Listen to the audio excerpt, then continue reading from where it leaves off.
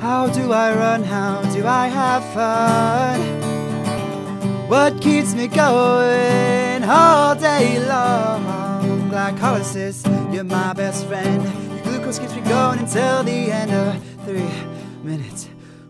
Woo! Then mitochondrial respiration kicks in with citrate. This is a conate, a citrate. Alpha ketoglutarate, succinyl-CoA, succinate, fumarate, malate, oxaloacetate, ATP. How you fuel me, yeah, ATP. How do I get thee?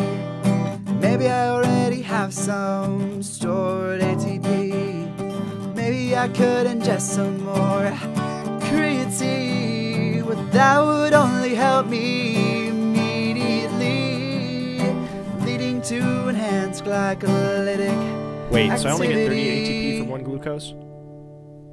Well, um, so hey, maybe I get some more ATP from some other processes.